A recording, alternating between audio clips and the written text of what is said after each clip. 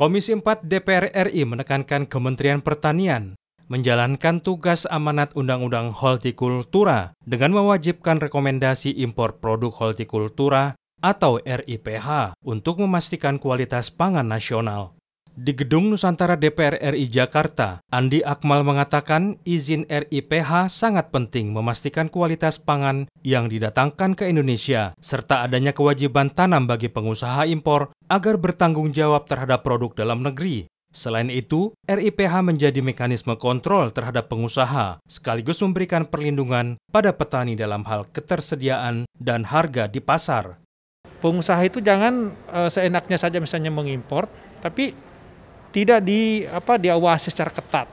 Misalnya gudangnya gitu ya, kemudian uh, produknya itu seperti apa keamanannya dan ke mana penyebarannya karena ini akan mengganggu nanti pertama semangat petani untuk uh, menanam karena harganya pada saat impor banyak gitu kan pasti uh, harga turun kan.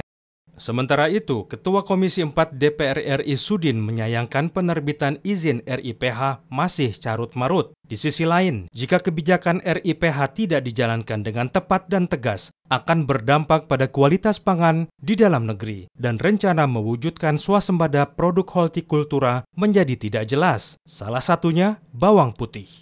Merubah wajib tanam setelah RIPH keluar maka potensi kecurangan ini sangat besar sekali. Mario dan Ridwan, TVR Parlemen melaporkan.